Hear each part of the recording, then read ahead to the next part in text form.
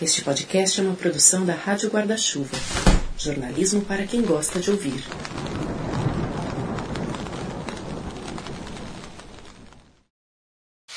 Devo reconhecê-lo humildemente, meu caro compatriota. Fui sempre um poço de vaidade. Eu, eu, eu, eis o refrão de minha preciosa vida, e que se ouvia em tudo quanto eu dizia.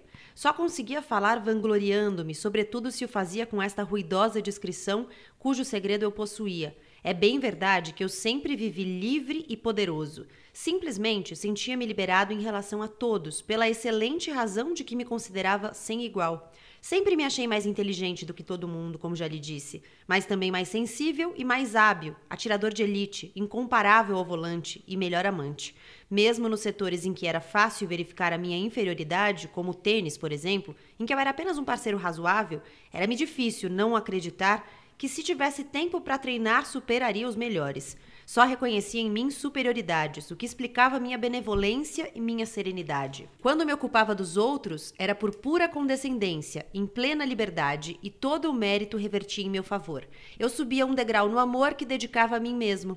Com algumas outras verdades, descobri pouco a pouco essas evidências durante o período que se seguiu à noite de que lhe falei. Não imediatamente, não, nem com muita nitidez. Foi preciso primeiro recuperar a memória. Gradativamente fui vendo mais claro, aprendi um pouco do que sabia. Até então, tinha sido sempre ajudado por um espantoso poder de esquecimento. Esquecia tudo, e em primeiro lugar, as minhas resoluções. No fundo, nada contava. Guerra, suicídio, amor, miséria, prestava atenção nisso, é claro, quando as circunstâncias me obrigavam, porém de uma maneira cortês e superficial. Às vezes, fingia apaixonar-me por uma causa estranha à minha vida mais cotidiana. No fundo, porém, eu não participava dela, exceto, é claro, quando a minha liberdade era contrariada. Como dizer-lhe? Tudo isso resvalava. Sim, tudo resvalava em mim. Jean-Baptiste Clamence é um juiz penitente, é assim que ele se intitula. Um advogado de defesa parisiense que, a partir de uma conversa de bar, faz sua confissão sobre a vida, sua revisão de consciência em Amsterdã, cenário deste livro de Albert Camus.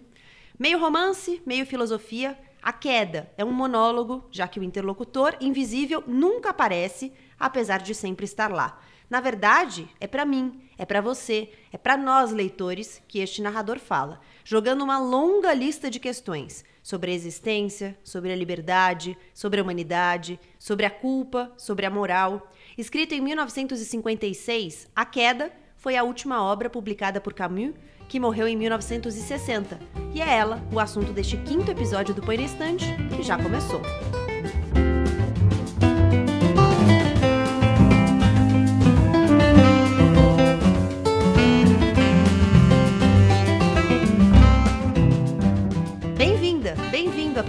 Temporada deste podcast. A cada 15 dias, me junto com mais duas pessoas. Lemos o mesmo livro e trocamos impressões, ideias, questões. O tema desses primeiros oito episódios que formam essa temporada é esse: boas-vindas.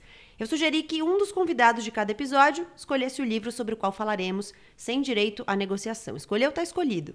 E hoje, para conversar sobre a queda, eu recebo Natália André e Felipe Bueno. Natália André, quem é você? Eu sou jornalista, uma pessoa completamente louca, que não sabe. Na verdade, eu me defino muito como jornalista, porque eu acho que é, é muito louco. Eu ouço pessoas se definindo e muitas vezes elas não falam a profissão. E eu, a primeira coisa que me perguntam. Ah, o que você é? Se descreva. Eu falo muito, eu sou jornalista. Aí depois eu fico pensando, gente, mas por que que eu estou falando isso? As pessoas não falam a profissão delas. E atualmente eu estou fazendo um documentário, um filme, então atualmente eu não sou jornalista. Eu tô, sei lá, cineasta, mas também é estranho falar cineasta. Eu sou completamente louca, como a pessoa que está ouvindo já percebeu. E tenho 26 anos e tô com medo do Felipe Bueno aqui do meu lado. Vai, Felipe Bueno, quem é você? Gente, Natália, seu cabelo tá ótimo. Ah, obrigada. Parabéns. Eu sou jornalista também, afinal é o, que, é o que diz um dos meus diplomas, que é o que eu uso profissionalmente há bastante tempo. Aliás, ano que vem, Qual é jubileu. o outro? Ano que vem, jubileu de prata, gente. Jubileu de Você acredita numa coisa dessa? Não, não é O possível. outro, história. Com essa né? A outra história. É, com uma especialização em história da arte. Agora, 25 anos, gente. Ai, agora tô intimidada também. De Ah, modo então. algum, de modo algum. Eu, eu não sou ninguém, na verdade. Eu sou apenas um resistente e um juiz penitente. Eu tenho a minha família, eu tenho os meus livros, os meus discos, os meus CDs, as minhas fitas cassete. Algumas músicas em formato digital também, porque a gente tem que se adaptar às, às coisas, né?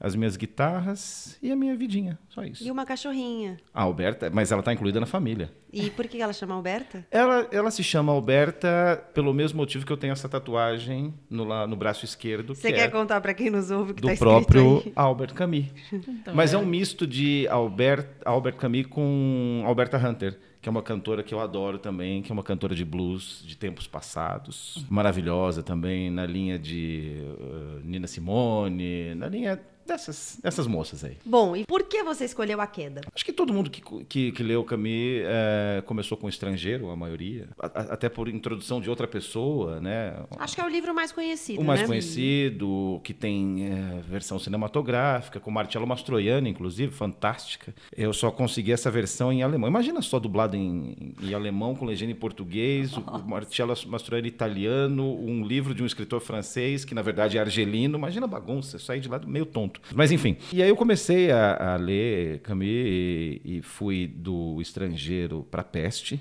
Eu achei sensacional também. E aí caí nesse. Óbvio que o estrangeiro é, um- é uma um murro na sua cara, né? Mas esse me pareceu mais, até por você chegar até a última página pensando, não, não é isso. Não, não é isso. Não, não é isso e no fim é, né?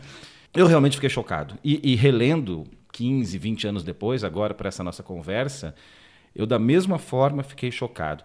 Esse livro estava guardado um pouco na minha memória, e aí eu estava em férias em Amsterdã e eu comecei a pensar, gente, mas peraí, eu vim para cá por quê? Né? Porque é uma cidade maravilhosa, porque é um posto de cultura, mas tinha alguma coisa que me chamava, né? Daí, de repente, veio o estalo. Falei, gente, a queda. O, o, o juiz penitente estava aqui, né? Estava no México City, é, conversando com um interlocutor que a gente não sabe, na verdade, se existe esse interlocutor. Mas acho que aí é antecipar um pouco o nosso É, papo. ele começa o livro, num, ele tá num bar, aparentemente um bar de marinheiros, né, pelo que ele descreve. Já chequei, não existe esse bar. Ah, eu Não existe. isso. Não existe. Bom, ele tá nesse bar e de repente ele começa a, falar com um cara que tá ali do lado dele. Ele fala, bom, ele, ele pergunta se ele pode oferecer os serviços dele de alguma forma sem ser incômodo, sem ser inconveniente. E aí, em vários momentos, ele faz perguntas para esse interlocutor, mas o interlocutor nunca responde. Só que ele continua como se tivesse respondido. Então você deduz qual teria sido a resposta desse interlocutor, né? É. Agora, o livro, eu achei o livro tão intenso, justamente por ser um romance filosófico. O livro, até agora, de todos os que a gente já leu aqui nos episódios do Põe na Estante, é o menor, mas foi o que eu fiz mais anotações. Porque eu não conseguia parar de pensar em coisas lendo o livro. Tem uma questão pra vocês que se sobrepõe? Eu, eu, achei, eu achei uma porrada. É, eu achei muito intenso. Eu não consegui avançar, na verdade. Porque quando eu olhei, eu falei, nossa, vai ser tranquilo, 100 páginas. Eu também fui nessa. Nossa, que loucura! Eu não consegui avançar, porque eu, Eu, sou um ficava... maldoso, né? Isso. Eu, eu ficava pensando em todas as circunstâncias que apare... vieram muitas questões na minha cabeça. E é louco, só voltar um pouco, na minha apresentação que eu falei da profissão e tal, uma das questões que eu acho que estão ali no livro e, e que são muitas, mas uma específica é o lance da profissão, porque ele fica tentando descobrir qual é a profissão do interlocutor, que é esse cara que ele encontra no bar. O tempo todo, até o finalzinho, ele fica tentando adivinhar qual que é aquela profissão. E eu achei muito louco porque eu acabei falando desse lance da profissão, sem perceber, eh, acontece um pouco isso assim, para ele é importante a profissão do cara. A profissão dele é muito importante, ele fala o tempo todo e ele é um advogado completo. Ele te engana o tempo todo. Des- Desculpem, advogados. Mas é, a retórica do cara é muito impressionante. Enfim, mas algumas questões, então, tem esse lance da profissão, que ele fica tentando o tempo todo adivinhar. Eu acho incrível isso. A outra questão que eu acho que é forte, que me deixou com muita raiva, eu falei pro Felipe agora. Eu senti muito ódio em muitos momentos e eu percebi depois que o ódio que eu sentia é porque ele falava coisas que eu pensava, mas que estavam muito lá dentro, sabe? Aquela coisa que você vai descobrir na análise só que é um monstrinho que existe dentro de você, e quando você descobre, você fala: Nossa, não, isso não pode existir, isso não sou eu, eu sou uma pessoa maravilhosa, eu sou super caridosa, eu sou super solidária. E na verdade você está fazendo isso por quê? Porque você quer ajudar o outro ao outro ou você quer ser superior? Então ele traz muito essas discussões de você é ser humano, se você é ser humano, você é horrível. Estou te apresentando isso, me desculpa, mas eu estou jogando isso na sua cara. É, quando ele faz essa confissão sobre ele mesmo, na verdade, ele está fazendo uma revisão de consciência em nome da humanidade, É. né? E aí me irritou muito em vários momentos, porque ele é chato pra Hum. dedéu. Ele é super ensimesmado. ele, eu até escolhi esse trecho de abertura, porque é um momento em que ele admite, né, que ele é ótimo, maravilhoso e tal. Mas, na verdade, ele tá falando da humanidade. Somos nós, né? Somos nós todos ensimesmados. Muito. Sim, poucos seres terão sido mais naturais do que eu. O meu entendimento com a vida era total. Eu aderia ao que ela era, de alto a baixo, sem nada recusar das suas ironias, de sua grandeza, nem das suas servidões. Particularmente a carne, a matéria, em resumo o físico, que desconcerta ou desanima tantos homens no amor ou na solidão, dava-me, sem me escravizar, alegrias iguais. Tinha sido feito para ter um corpo. Daí esta harmonia em mim próprio, este autocontrole sem esforço que as pessoas sentiam e que, segundo confessavam, às vezes ajudava-as a viver. Buscavam, pois, a minha companhia. Muitas vezes, por exemplo, julgavam já ter me encontrado. A vida, os seus seres e os seus dons vinham ao meu encontro. Eu aceitava estas homenagens com um orgulho benevolente. Na verdade, a força de ser um homem, com tanta plenitude e simplicidade, achava-me um pouco super-homem. Me pareceu, é difícil, é ousado até falar isso, mas me pareceu o livro do Camus, e eu li vários, assim, peças também, o mais humano de todos. E você falou uma questão, né? São várias, né? a Natália Não falou dá, né? algumas, mas se eu fosse escolher uma, a minha questão seria o nome, o nome, né? A queda. Qual é a queda? É a queda dele, né? Ele representando a humanidade. Até porque a gente não sabe, na verdade, se ele existe, se ele é Deus, se ele é Jesus Cristo, se ele é o Isso. próprio interlocutor, porque ele tem um nome falso. O nome dele não é esse que você citou, né? Se ele é toda a humanidade. E, ao mesmo tempo, a grande virada da vida dele foi uma queda. Foi uma queda no Rio Sena. A gente vai chegar a esse ponto. E aquela queda fez com que. Aquela queda né, aquele- ficou ecoando na vida dele, na vida dele, na vida dele. E quando ele começou a cair, aquilo começou a, a fazer mais sentido para ele. Então, para mim, a questão é, essencial é, é a felicidade no nome do livro. É, e ele fala que depois desse episódio no Rio Sena, porque ele é, depois ele começa a ouvir ali naquele, naquele ambiente, né, às margens do rio, risadas, né? E aí ele não, ele não consegue identificar de onde estão vindo aquelas risadas, mas ele tá ouvindo as risadas, e aí ele fica assim. é, parece que ele tenta entender se ele tá imaginando, se elas estão acontecendo.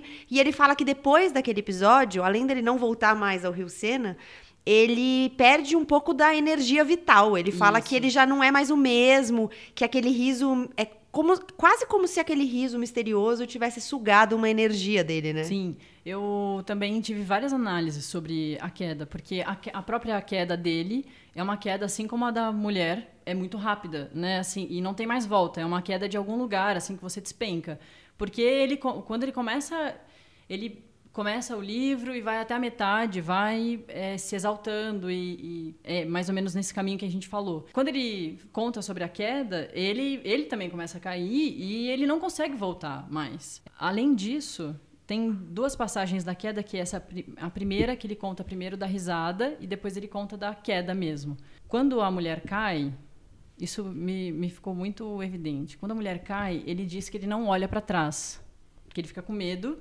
Então ele não consegue olhar para ver o que, que é que está caindo, mas ele, ele sabe o que está caindo, assim, porque é um barulho. Ele fala isso, que é um barulho muito específico, um, um som só e tal. Ele não olha para trás. Só pra pontuar pra quem Sim. nos ouve, porque a gente não explicou ainda quem É. cai, né? Mas a, a mulher cai no rio É. e ele, ele entende pelo barulho que ela caiu, mas na Isso. verdade é isso que a Natália tá descrevendo. Ele não tem coragem de olhar pra ver o que, que exatamente tá acontecendo. Ele, É. pelo barulho, ele deduz que ela caiu no rio. E por um momento ele teria tempo de fazer É, algo, mas isso. esse Exato. tempo se foi. Isso. né? Esse tempo se foi. Que é muito louco, que é essa continuação da, da análise dessa queda. Porque depois, quando ele tem a segunda passagem por esse mesmo ponto, ele ouve as risadas.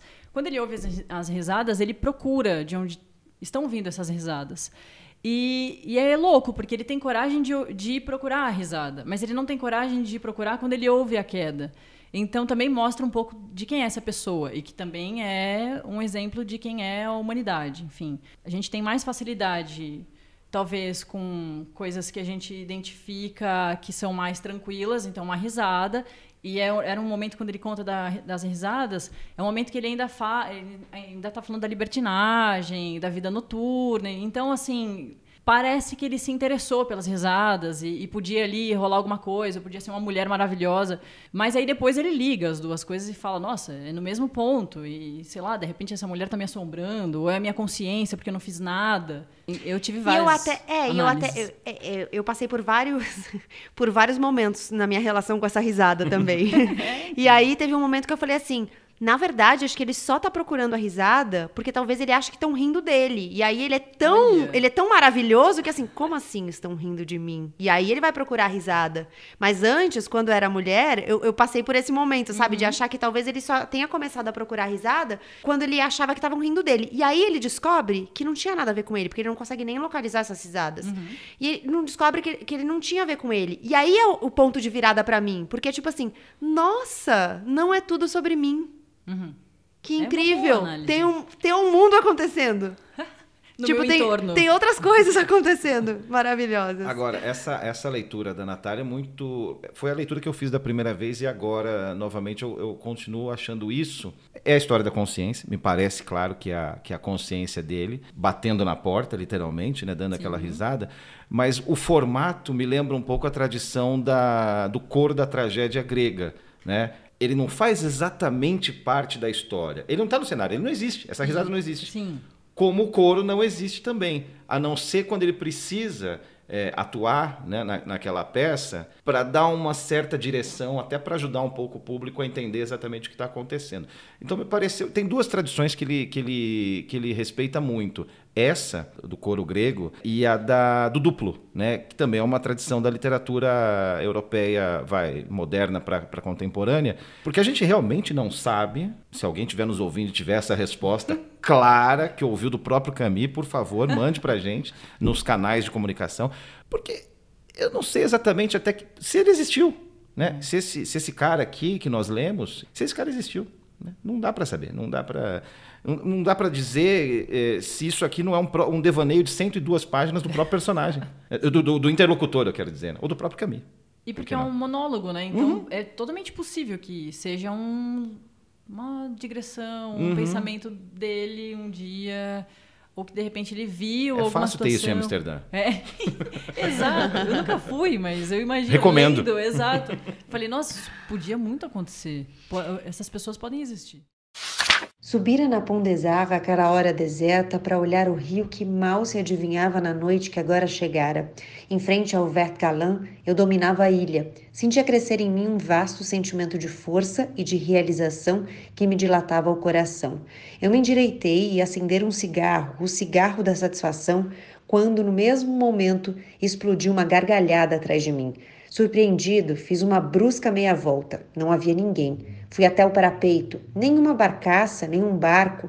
Virei-me para a ilha e de novo ouvi o riso às minhas costas, um pouco mais distante, como se descesse o rio.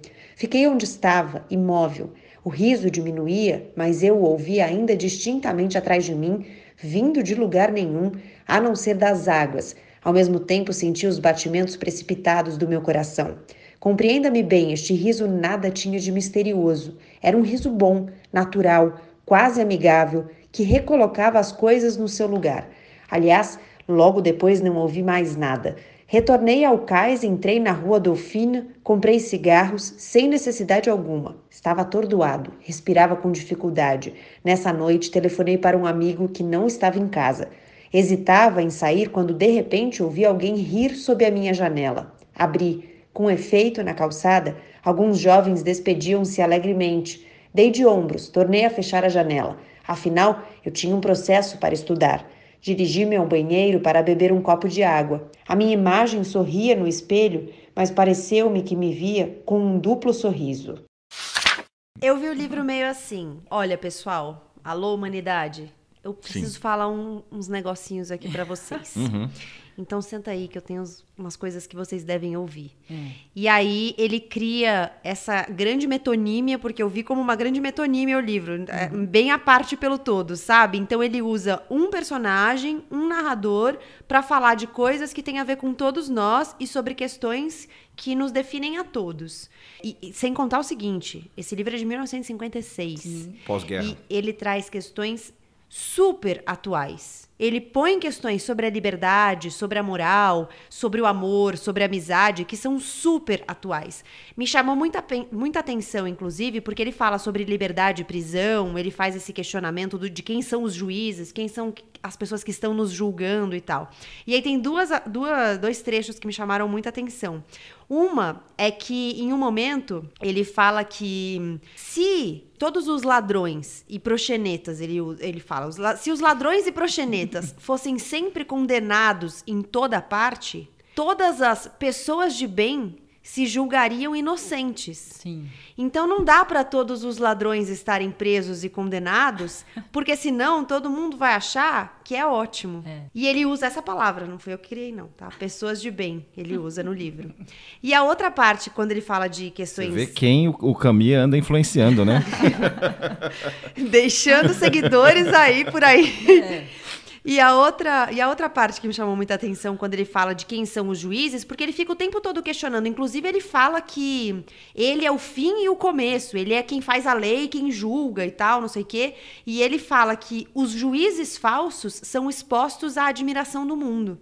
Então, que na verdade as pessoas estão prestando atenção nos julgamentos errados. A moral tá balizada em julgamentos errados, porque se são os juízes falsos que estão expostos à admiração, gente, de- deixa eu contar um negócio, vocês estão admirando as pessoas erradas.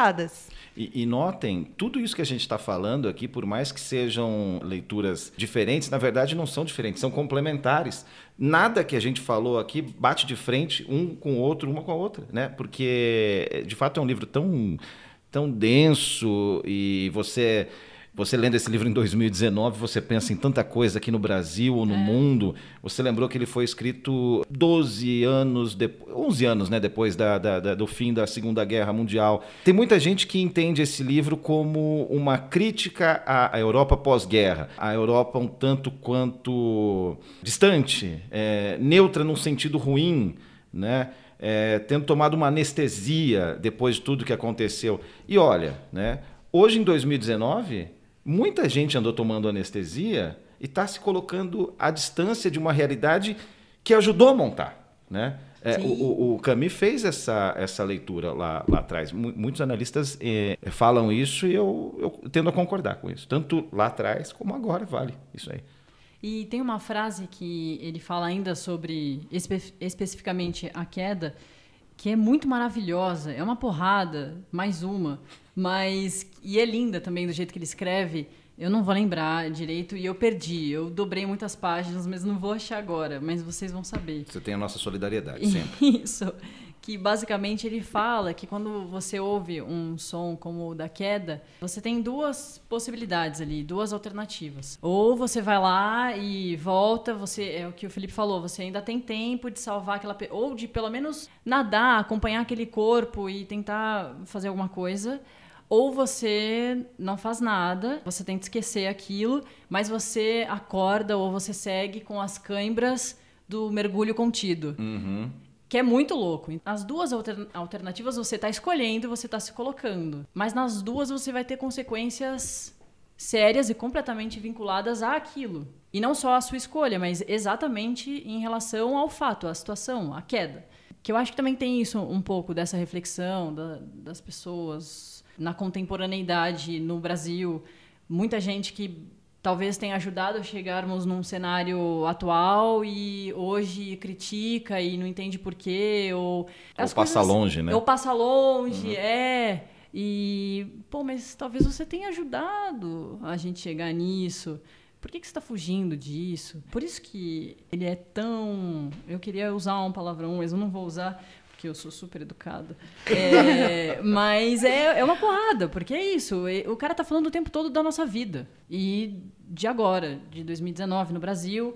E com certeza, quando as pessoas leram lá, elas falaram: nossa, mas ele traz Eu, na verdade, não consigo nem imaginar, assim, porque é tão complexo hoje. Imagina ler isso quando ele escreveu. E, e o Camus, ele, ele, ele bateu de frente com uma, uma linha da esquerda. Ele bateu de frente com Sartre, Uhum. né? Ele, Apesar de que eles eram amigos, né? eles eram amigos, depois bateram De- de frente porque. É, é, não, eu ia falar só que eles ficaram amigos depois, porque, se eu não me engano, o Sartre falou bem do estrangeiro quando ele Uhum, leu. uhum. E aí, em algum momento, eles se encontraram e falou: Ah, você que gostou do meu livro. Sim, chegaram a colaborar eh, nas mesmas publicações, só que aí o, o, o Camus, que é um cara que sempre se preocupou muito com o sentido da vida e o absurdo de você. Bom, o mito de Sísifo, que é outro livro do Camus que é maravilhoso, também é pequenininho, mas vai dar um trabalho. se, se as pessoas que estão nos ouvindo não leram ainda, vale a pena dar uma lida porque é mais é, pega mais a- a- de jeito assim a, a- a filosofia de vida dele. Mas enfim, na época, como, como lembrou a Natália, a época que foi escrito, ele causou um grande barulho porque em algum momento eles se separaram, né? Ele foi um crítico do tota- totalitarismo, da mesma forma que foi do totalismo, totalitarismo, nossa, não sai a palavra, de direita, ele foi do de esquerda também. Sim. Ele era um cara muito adiante do tempo dele, muita gente não entendeu. Quase que eu derrubo a mesa aqui agora. É, ele, inclusive, eu estava lendo um pouco sobre a biografia dele, e aí falava da, de como ele acolhia as vítimas da União Soviética, e como, enfim, ele foi é, se alinhando ali a toda forma de resistência ao totalitarismo. Ele foi, inclusive, parte da resistência francesa, né, Sim, durante a uhum, guerra, o uhum. Camus mesmo. Não o personagem, mas o personagem dá a entender que sim Isso, também, né? Porque fala. ele fala, inclusive quando ele fala que ele atirava e ele era um sniper de Sim. referência. E ele, ele, ele até ri um pouco também da resistência na hora que ele fala. É muito louco, ele ri de tudo. Porque também tem isso, assim, você. É, não- o tom é totalmente de deboche, né? De deboche, de Exato. absolutamente tudo. E por isso que também é tão difícil de- da gente identificar quem é esse homem. Porque ele ri de tudo. Como assim? Você não acredita em nada? As pessoas acreditam em coisas. Pelo menos a gente é educado a acreditar em coisas. Como essa pessoa não acredita em nada? Foi nesse momento que o pensamento da morte rompeu na minha vida diária. Contava os anos que me separavam do meu fim. Buscava exemplos de homens da minha idade que já tivessem mortos e me atormentava a ideia de que não teria tempo de realizar a minha tarefa. Que tarefa? Eu nem sabia. Para falar com franqueza, valeria a pena continuar a fazer o que eu fazia? Mas não era exatamente isso. Perseguia-me com efeito um temor ridículo. Não se podia morrer sem ter confessado todas as mentiras. Não a Deus nem a um de seus representantes, eu estava acima disso, como o senhor pode imaginar. Não, tratava-se de confessá-lo aos homens, a um amigo ou uma mulher amada, por exemplo. De outra forma, e mesmo que houvesse uma única mentira oculta numa vida, a morte tornava-a definitiva. Nunca mais ninguém conheceria a verdade sobre este ponto, já que a única pessoa que a conhecia era precisamente o morto, adormecido sobre o seu segredo. Este assassinato absoluto de uma verdade me desnorteava. Hoje, ao contrário, diga-se de passagem, me daria refinados prazeres. A ideia, por exemplo, de que sou o único a conhecer o que todo mundo busca e de que tenho em minha casa um objeto que movimentou em vão três aparatos policiais é puramente deliciosa. Mas deixemos isso de lado. Na época, não tinha descoberto a receita e me atormentava. E sabe que eu fiquei pensando sobre uma coisa que vocês falaram do. De assim, ah, você tem alguma coisa a ver com, com como chegamos até aqui? Ele fala disso quando ele fala de Jesus. Porque ele diz: Jesus foi morto porque tinha cometido erros, ainda que não fossem aqueles erros pelos quais ele estava sendo julgado e condenado por aquelas pessoas. Ótima essa parte. E aí ele fala assim, por exemplo, crianças foram mortas na Judéia por causa de Jesus, fazendo referência a quando é, eu, as minhas referências bíblicas são péssimas, são mas, é, eu- mas eu sei essa parte Herodes, da história. né? Herodes manda matar as crianças porque na verdade ele descobre que tá vindo aí um novo rei e aí ele entende que aquela criança tá na Judéia e ele, É. na dúvida, manda matar todas as crianças. Tipo, corta no meio, né? E, e assim, mata de forma trágica. Resolve. E a- é, Isso, e- resolve. e, aí ele usa esse exemplo pra dizer assim: não foi culpa de Jesus. Jesus não mandou fazer aquilo. Mas no fundo foi culpa dele, porque ainda que ele não tivesse intenção, foi a existência dele e o fato dele ter fugido que fez a família dele, né, porque ele era um bebê, que fez com que todas aquelas crianças fossem mortas. E aí ele coloca a seguinte ideia, que ainda que Jesus tenha sido uma figura muito importante para a humanidade, ninguém é totalmente inocente. Então todo mundo tem responsabilidade sobre o, o, o caminho que a humanidade toma. Basicamente, né? E isso é um recado para a França, porque a França, ao mesmo tempo que teve uma resistência muito forte na Segunda Guerra, em parte foi colaboracionista. Então, não deixa de ser um, um recado também para aquela parte da França que ou não questionou a presença do nazismo na França, da Alemanha na França, então, simplesmente né, abriu o espaço, abriu as portas, falou: não, beleza, né? amanhã a gente compra o jornal, come o nosso croissant, segue a vida e tudo bem. Né? Então, é, da mesma forma que é um recado para quem se esconde at atrás de uma neutralidade, Sim. é um recado também para você tomar uma certa posição, porque senão depois não vai adiantar né? reclamar, né? É, enfim, é, acho muito atual isso aí. Por isso que eu acho que o interlocutor também é a gente, é o leitor. Uhum. Porque ele joga. É, é, isso, ele incomoda muito, né? Nesse lance de não acreditar em nada e de se mostrar superior o tempo todo. Eu acho. Eu senti raiva dele até na queda, assim. até na, nessa parte, não nessa queda específica da mulher, enfim, que é essa metáfora, mas na queda dele. Porque, como ele ia falando como ele continuava discutindo a vida e a morte, a terminalidade, eu sentia que ele era muito superior a mim. Eu, eu, eu Mas ele te irritada. diz isso. Isso! Ele te fala com todas as letras. eu sou superior, ele fala. O tempo todo. E, e você começa a acreditar, porque ele se mostra por isso que eu falei. A retórica é eu gosto de gente que tem a, retórica impressionante, assim. Mesmo que a pessoa esteja falando uma coisa que você repudia, ou que você não gosta, que você não acredita, a pessoa tem um discurso tão forte, tão incrível. E incrível não em bonito e legal, bacana. Articulado. É, né? articulado. Conquistador. Isso. Uhum. É, e sedutor. Sedutor, porque, sim. Uhum. É, que é muito impressionante. Você se envolve demais e, e, e fica com muita raiva. E eu e... senti que eu era o, o, interlocutor, assim, o tempo todo. É, ele faz muitas perguntas pra gente, né? Ele fala, ah, você sabe o que eu fiz, não sei o quê? Você sabe por quê, não sei o que lá? E, na verdade, ele tá perguntando para você, você não tem como responder, mas aí ele já continua a conversa como se você tivesse respondido. E, no fundo, acho que a gente dá umas respostas, né? Porque a gente vai pensando Sim. ali junto. É, quando você vê, você respondeu alguma coisa. Uhum. E, e eu acho que ele faz essas perguntas até para quebrar uma coisa que ele critica no livro, que ele fala em determinado momento. A gente trocou o diálogo pelo comunicado. Uhum. E aí eu acho que ele coloca perguntas o tempo todo no livro meio para dar um tom de diálogo, né? Para falar, olha, eu tô tentando não fazer o que eu estou criticando. Sim. Mas no fundo só ele fala. Agora, curiosa uma coisa me, me ocorreu é, vocês falando dessa história das perguntas. Reparem, né? Em várias vezes ele faz perguntas e fica surpreso com a suposta resposta Sim. positiva do interlocutor. Me dá a entender agora que ele quer colocar o interlocutor, e aí mais um ponto para a história do, do, ele ser um duplo da pessoa que está do outro lado, né? É, ele fica surpreso com as respostas positivas. Ele fala: Ah, mas não acredito, você sabia disso? Você sabia disso também? Você conhece tal lugar? Ele fica encantado, na verdade, né? Com uma pessoa que pode ser ele, no fim das contas, né? Sim. Pode, pode, pode, ser qualquer um de nós aqui. Enfim. Ou pode ser a humanidade, porque sim, ao mesmo sim. tempo que ele está repudiando tudo aquilo, ele tem um encantamento absurdo pela humanidade. É Muito. É que o encantamento por ele é maior. Ele até fala, em determinado momento, ele começa a questionar sobre amor e amizade. Uhum. E aí ele fala que você não pode amar o outro sem se amar.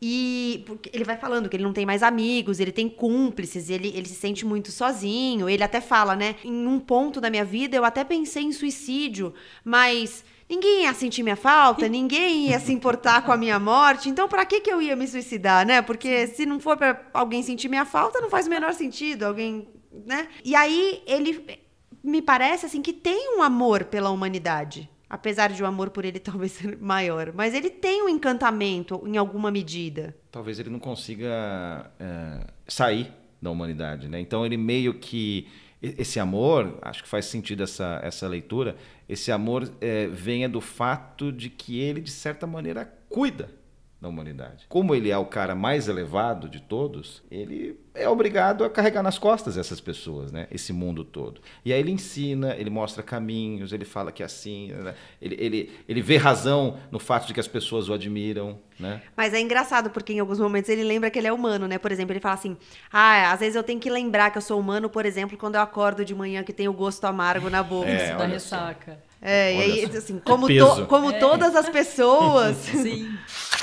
E depois vamos direto ao ponto. Eu amo a vida. Eis a minha verdadeira fraqueza. Amo-a tanto que não tenho nenhuma imaginação para o que não for vida.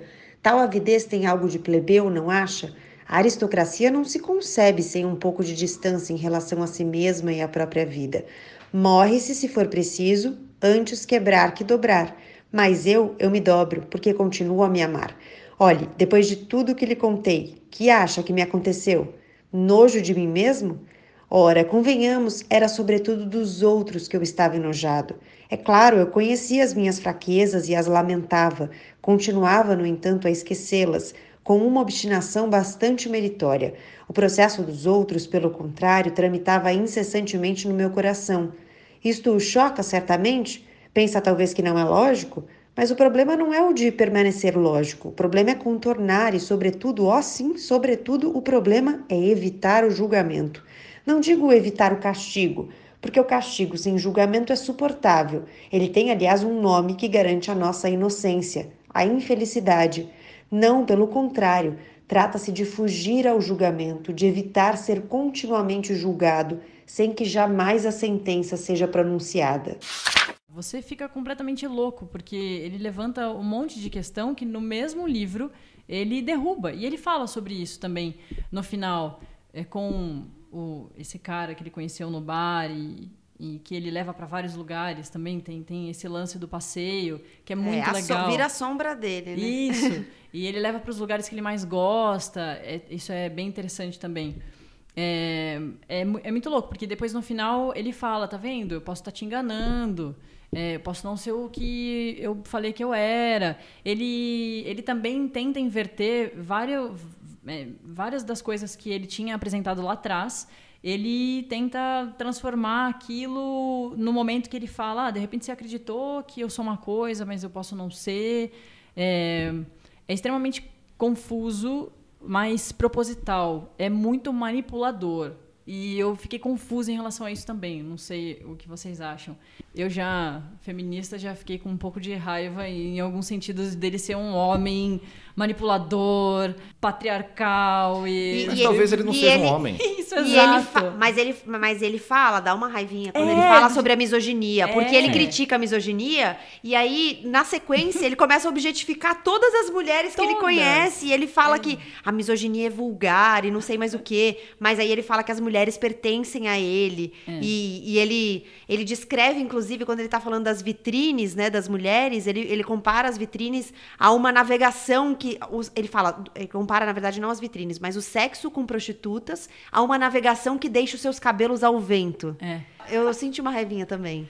Eu senti muito. Eu, eu acho que ele é um homem. Então, por causa dessas características, eu falei, nossa, certeza que ele é um homem. certeza. Já Se ficou de má Deus, vontade. Isso. Mas, Mas ele é um Deus.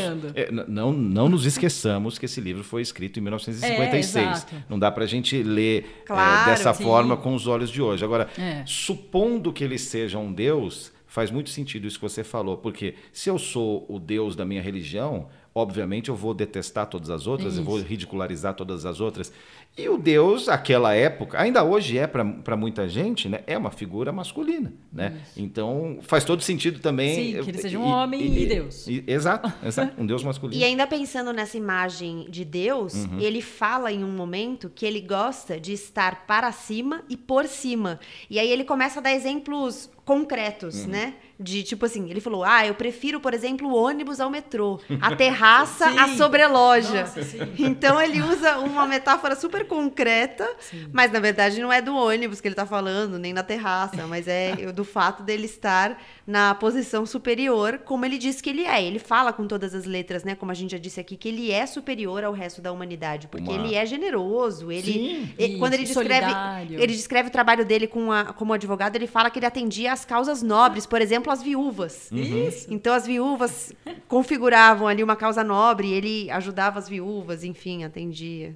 Acho que vale aqui a gente fazer uma menção. Acho que todos temos a mesma tradução, né? Uma tradução maravilhosa, porque a, a gente percebe toda a ironia né? do, do, do, texto. Né? O texto é extremamente irônico, mas é uma ironia tão tão elegante, tão sutil, tão bem articulada, que você, no fim das contas, dá risada, concorda É, com sim. o cara. Né? Acho que essa sedução tem muito disso também, Muito. do texto. O texto te leva no colo. É. quanto, quanto tempo vocês levaram para ler, pra ler esse texto? É rapidíssimo, porque você não consegue levantar. Né? Você- vai, levanta, tem- ab- abre a porta, se alguém está batendo, só que com o livro na mão. Oi, tudo bem? Boa noite. Continua lendo. Assim. É impressionante. é Eu impressionante. não li rapidíssimo, não. É Nossa. mesmo? Não, é porque eu- tem a questão eu das li, anotações. Eu anotei muito, aí eu parava, eu pensava. E aí, assim, eu li meio que de uma tacada só. Uhum. Mas eu não li rapidíssimo, não. Eu até eu tive a mesma sensação da Natália. No início eu falei, ah, 110 páginas. É. Tranquilo. Mas não, não foi, não foi rapidíssimo. Mas pra mim, aconteceu não. isso que o Felipe falou de não conseguir parar, assim. Eu tava no metrô, isso nunca aconteceu, assim, de estar no metrô muito lotado, assim, em pé. Sabe? Você tá Tu consegue virar a página, Isso, né? exato. Dá uma Me raiva. ajuda que aqui você a página. Você quase pede pro amigo, ô, você tá com o braço disponível aí, o braço direito? Vira aqui a página. É, isso nunca tinha acontecido. Tipo, eu entrava num ônibus e tava muito lotado e eu falava, ah, não, vou- não vou ler. Mas eu não consegui parar de ler.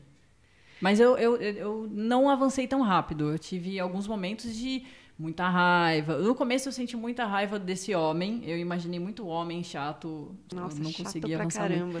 Mas aí depois eu Deus. fui gostando dele, aí foi ficando perigoso, porque eu falei, gente, tô gostando de uma pessoa horrorosa, ele é horroroso. E, enfim, Ele é você. isso é, ele, Ele pode ser eu. eu. Não, calma, ele é Deus. É- nossa, é, é louco demais. Camus nasceu na Argélia, em uma família de origem francesa, em 1913. Além de romances, ele escreveu muitas outras coisas, ensaios, peças de teatro, atuou como jornalista. Em todos os trabalhos, ele falou muito sobre os conflitos, sobre os dilemas, tanto individuais quanto coletivos, com os quais nos deparamos. Ele era militante, como a gente disse, na resistência francesa, grupo que lutou contra os nazistas na Segunda Guerra Mundial. Morreu na França, em 1960, vítima de um acidente de carro. O que fica para você de A Queda, Felipe Bueno? Cuidado.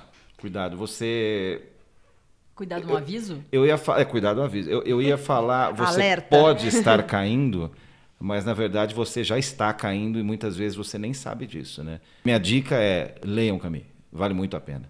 Mas leiam com esse cuidado já na, na, na cabeça. Natália. E ele fala bastante disso no final, do- de quando ele fala que você pode estar aguardando um juízo final, mas ele é todo dia. Ele diz alguma coisa assim também. Não nessas palavras, ele fala bem melhor. Mas ele, ele traz essa mensagem do toma cuidado, porque você pode estar esperando aquele momento e que acho que você pode transportar para vários momentos da sua vida que você fala, não, vai chegar aquele momento. E, sabe, não precisa ser o juízo final da morte né, o purgatório. É, pode ser de vários, sei lá, aquela pessoa que passa a vida toda esperando aquele grande momento, mas na verdade os grandes momentos acontecem o tempo todo. Enfim, ele fala de uma forma que não é piegas. Porque agora eu falei, foi um pouco cafona. Não, modo não, algum, foi de bom, modo foi bom. Mas, sabe, essa coisa do carpe diem e tal. Mas ele fala de uma forma bem bonita. E, além dessa, a outra mensagem das frases cortantes, quando ele fala que ele traz o coração nas mangas. É logo no começo. E foi de um dos momentos que eu falei, cara, o que, que eu faço com essa frase? Porque eu, eu achei uma frase muito complexa. Porque eu queria saber se ele é um cara do amor fugaz, se ele é um cara do que arregaça as mangas e vai intensamente, é muito doido, assim. Então, acho que para a pessoa que está ouvindo, é uma frase curiosa que, que traz toda essa loucura do livro, que te deixa muito confuso que te deixa com muita raiva. Eu vou também nesse caminho do, do Felipe, do juízo final, que é doido. Eu me surpreendi quando ele falou isso. Toma cuidado, porque o juízo final é todo dia. E ele traz isso bem no finalzinho. Quando você acha que você está entendendo o livro, ele traz essa questão. Você fala, gente... É, para mim também ficou essa coisa do julgamento diário, mas ficou meio que uma lição de sobrevivência, porque em determinado momento ele fala assim: eu achava que eu tinha, se eu não me engano, ele usa a expressão a ilusão do acordo geral. Eu tinha chegado à ilusão do acordo geral. Tinha vivido durante muito tempo essa ilusão. Mas eu estava sendo julgado e alvejado. Então, nisso que a gente está falando, né? De ser julgado o tempo todo. Mas aí ele deixa uma lição, que é onde eu estou tentando chegar. Obviamente é uma coisa totalmente pretensiosa, mas ele diz: e isso de ser julgado e alvejado o tempo todo, nenhum homem suporta, só os sábios. Mas aí ele diz: só que os sábios não vivem. Então, ficou pra mim essa questão assim: devo chegar ou buscar, porque chegar acho que não chegarei, mas Sim. devo buscar essa sabedoria pra tentar suportar o julgamento diário? Ou, na verdade, essa sabedoria vai me levar a não viver? Ou estamos todos mortos já? É, tive essas viagens também. Tô feliz que o Felipe falou, porque eu tinha esquecido, mas eu tive também. Eu tive uma impressão de que a gente pode estar morto. É, De certa maneira, a gente pode estar mesmo. Isso. Então é isso, gente. Segundo episódio seguido que a gente termina o quê? Pra cima, de um jeito otimista, com essa mensagem pra você acordar amanhã feliz depois de ter ouvido esse podcast. Felipe Bueno, Natália André, obrigada Ah. por estarem aqui. Vocês querem vender seus peixes? Contar onde os ouvintes te encontram? É, os ouvintes me encontram, os ouvintes me encontram na Band News FM, na Rádio Trânsito e no meu Instagram. Qual que é o meu Instagram mesmo? É F underline Bueno, alguma coisa assim. Mas joga lá Felipe Bueno, vocês acham, enfim. Eu sou péssimo para vender peixe, gente. É, Vamos melhorar isso daí. As minhas redes também é, são arroba Natália André. Enfim, é o mesmo A do final do Natália, do André. Tá vendo? Ah, eu sou bem. péssima pra vender meu peixe, como vocês podem perceber. E em breve vai ter filminho aí, decorem Oba! meu nome. E, enfim, em breve não, né? A gente tá no Brasil, demora muito. Avise, Mas, enfim, de repente a pessoa tá assistindo um dia antes de sair, assistindo, ouvindo. Uhum. Então pode ser em breve, vai ter um filme aí. A Queda, de Albert Camus. Eu falei direito, porque você fala Albert. Eu falei Albert. Quem sou eu? Minha eu pro- sei que eu é- sou um é juiz, minha mas eu sou um juiz penitente. Minha pronúncia é do norte. Do norte, tá certo. A Queda, de Albert Camus, tradução de Valérie Rumianek. E a versão, a edição que eu li é da editora Record, tem 110 páginas. Esse foi o quinto episódio dessa primeira temporada do Põe na Estante. A gente se encontra em 15 dias. Eu, Gabriela Maier, cuido da produção, do roteiro e da edição desse podcast. O Renan Suquevicius faz a captação e as artes do Põe na Estante. Você encontra o Põe na Estante nas redes sociais, no Instagram, arroba Põe na Estante, ou pelo e-mail põenaestante.gmail.com. A gente se encontra em 15 dias. Obrigada pela companhia e até lá!